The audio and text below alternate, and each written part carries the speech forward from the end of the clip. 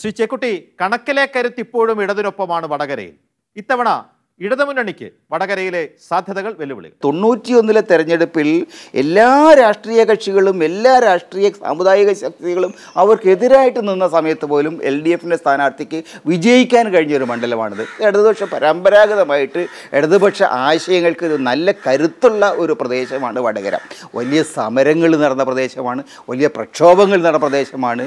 കർഷക പ്രസ്ഥാന പ്രസ്ഥാനങ്ങളുടെയും പ്രക്ഷോഭങ്ങളുടെ പേരിൽ ആളുകൾ നിരവധി പേർ വെടിയേറ്റ് വീണ ഒരു വീരയോദ്ധാക്കളുടെ ഒരു നാടാണ് ഒഞ്ചിയം അടങ്ങുന്ന പ്രദേശമുള്ള വടകര മണ്ഡലം. അതുകൊണ്ടൊക്കെ തന്നെ ഇടതുപക്ഷ സംബന്ധിച്ചിടത്തോളം പരമ്പരാഗതമായിട്ട് അവർക്കൊരു വലിയ അഡ്വാന്റേജ് ഉണ്ട്.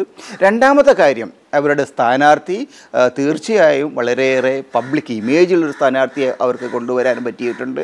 മൂന്നാമത്തെ ഏറ്റവും പ്രധാനപ്പെട്ട കാര്യം വളരെ ചിട്ടയോടുകൂടിയ വളരെ അടുക്കും ചിട്ടയുമുള്ള സംഘടിതമായിട്ടുള്ള ഒരു പ്രവർത്തന രീതി. ഇതിനൊക്കെ സർവോപരിയായിട്ട് പിണറായി വിജയന്റെ കുടുംബ വീട് അദ്ദേഹത്തിന്റെ ഭാര്യയുടെ കുടുംബ വീട് അടക്കമുള്ള ഒരു തരത്തിലുള്ള പേഴ്സണൽ ഇന്റിമസി പോലും ഇടതുപക്ഷ പ്രസ്ഥാനത്തിന്റെ തലപ്പത്തുള്ള ആളുകൾക്ക് വടകരയുമായിട്ടുണ്ട്.